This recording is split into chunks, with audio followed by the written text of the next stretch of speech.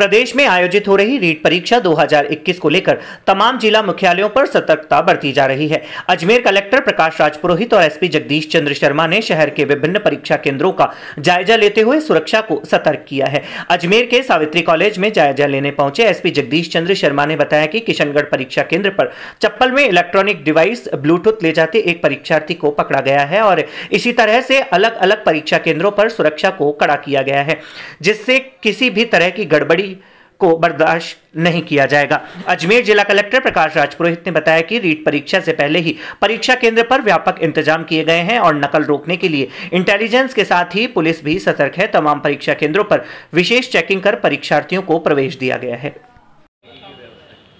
सभी exam centres में proper व्यवस्था की गई है और परीक्षार्थियों के आने से पहले ही रहने खाने की वो भी व्यवस्था की गई थी। एग्ज़ाम में भी खास फोकस है कि नकल ना हो, उसके लिए सभी की ड्यूटी लगाई है, साथ में फ्लाइंग स्क्वाड भी लगाई है और पुलिस का भी दल है।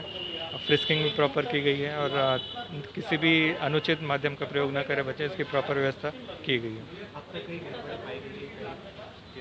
अभी अजमेर शहर में तो कहीं कोई ऐसी घटना नहीं हुई है। किशनगढ़ कस्बे में कोई ज़रूर जो पहले से इनपुट मिला था एसओजी के द्वारा। उसके तहत ही आ, किसी के चप्पल से आ, एक डिवाइस निकला उसको पहले ही आ, सूचना के माध्यम से पहले ही उसको हिरासत में ले लिया था। ज़िले में रेट की परीक्षा आयोजित हो रही है। किस तरीके से आप दौरा कर रहे हैं? अब तक क्या सूचना मिली? कोई गड़बड़ी? कहीं कोई गड़बड़ी नहीं मिली। परीक्षा शांतिपूर्वक चल रही है।